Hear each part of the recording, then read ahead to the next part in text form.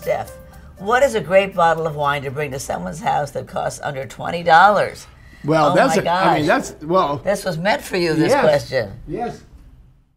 The Kung Fu Girl or the Velvet Devil Merlot. These are obviously my wines, so I'm being very No, self but they're great. They're twelve dollars. They're twelve dollars, so you know you still have eight dollars left from your twenty dollar bill. So these are both really good wines. Yeah, they are. And so um, Washington wines, actually in general, are a really good value uh, price wise uh, to quality. So you can look for Washington wines and you'll find something you like.